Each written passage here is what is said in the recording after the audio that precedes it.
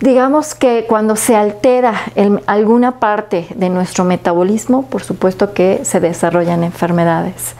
Y bueno, la que, que es la más evidente es la diabetes mellitus, en donde está alterado el metabolismo de, de carbohidratos, proteínas y lípidos. Otra alteración, por ejemplo, metabólica, pues son las dislipidemias, en donde se, hay una alteración en las grasas de la sangre, el colesterol, los triglicéridos o el colesterol bueno.